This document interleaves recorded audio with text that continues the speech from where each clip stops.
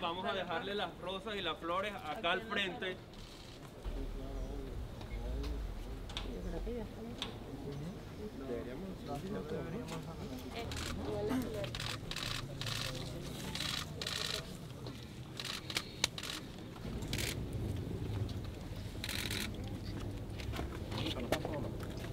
Un venezolano que apenas empezaba la vida y por el desastre que vivimos como país, en esta situación dramática, donde tenemos una crisis humanitaria, pues sus padres decidieron buscar fuera de nuestras fronteras un futuro. Y ese futuro fue arrebatado por las balas de esa guardia infame que representa este país de Trinidad y Tobago.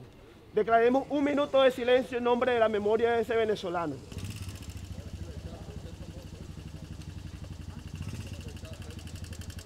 Haciéndole un tributo a ese bebé que fue asesinado vilmente por las guardias costeras de Trinidad y Tobago, que es un incidente que no es aislado.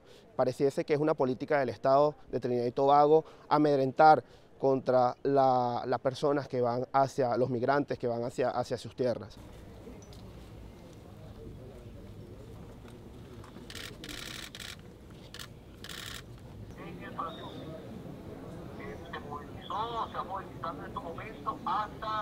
La palabra, los hechos hablan por sí solos. Reflexionen, hermanos.